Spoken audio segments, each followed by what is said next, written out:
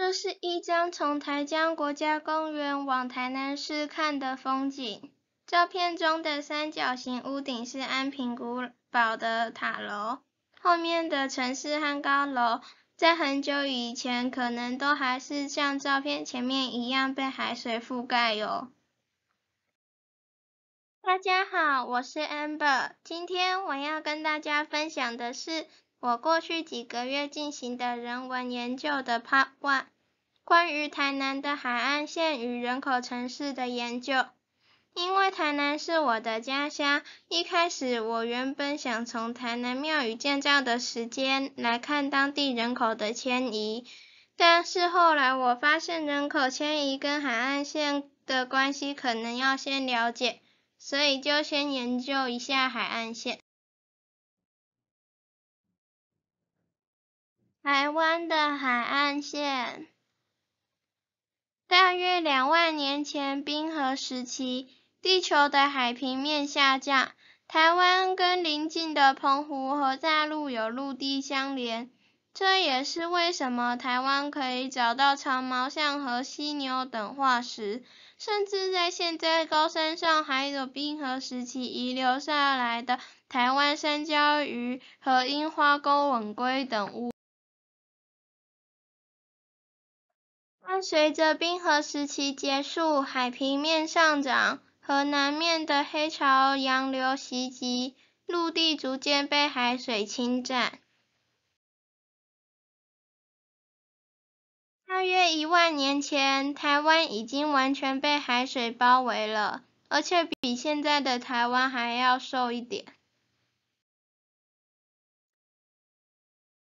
台湾高山上的沙石也慢慢地被雨水河流冲刷入海。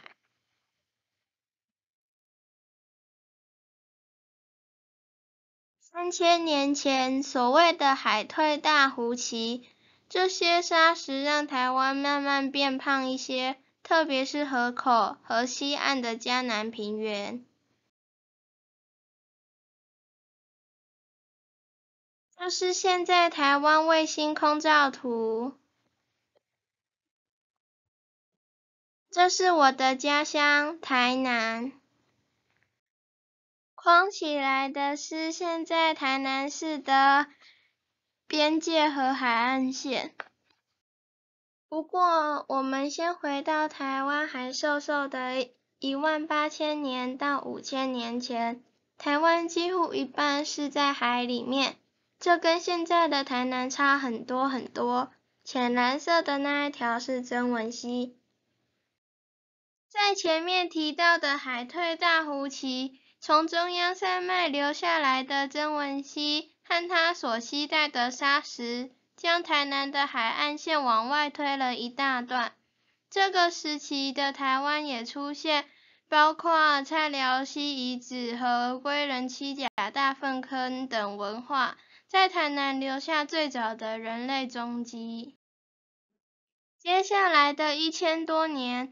也就是三千三百年到一千八百年前，更多的人类踪迹在台南出现，这也包括出名的南科考古馆周遭的丰富遗址，而曾文溪又往西进，占领更多土地。一千八百年到五百年前这段期间。曾文溪与北边的吉水溪和巴掌溪慢慢包围形成的所谓岛风内海。一六二四年，距今四百年前，荷兰东印度公司在安平建的乐兰遮城。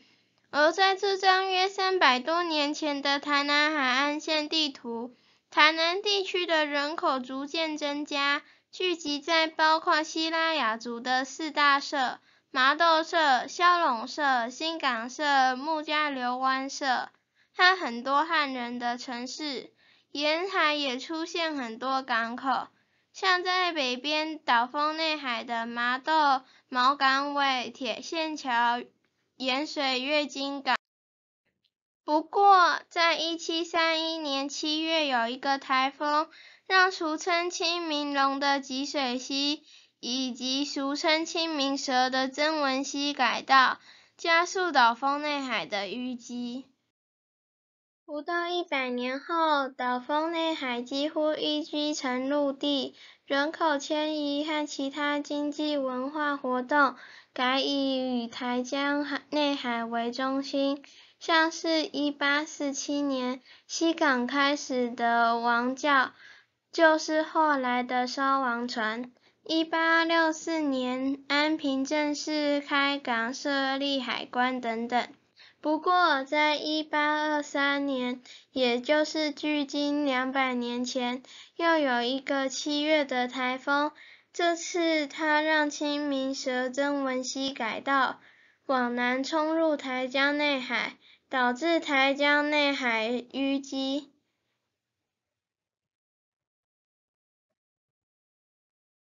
又不到一百年的时间，曾文溪就让台江内海也步上岛风内海的后尘，淤积路化让台南府、安平、西港等地区都慢慢变成内陆。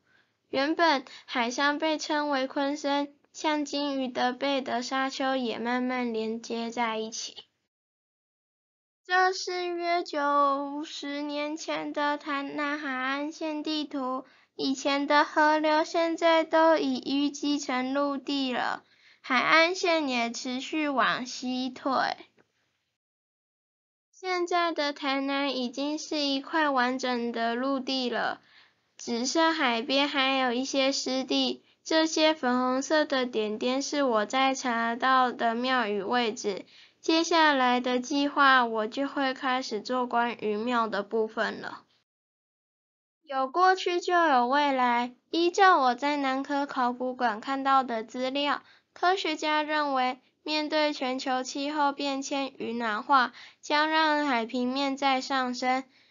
台南可能将再次成为被海水覆盖的五千年前的状况，也就是我们现在大部分人所居住的地方又要变回大海了，那就麻烦了。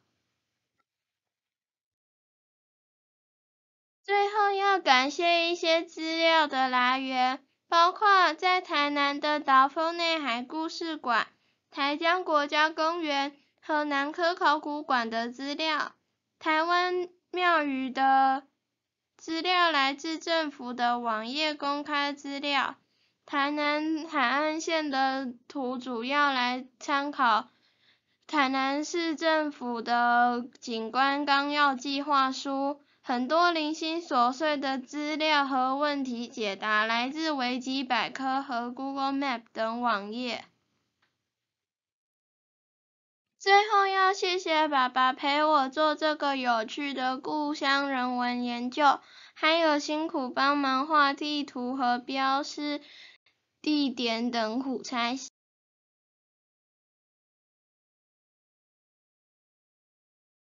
谢谢大家。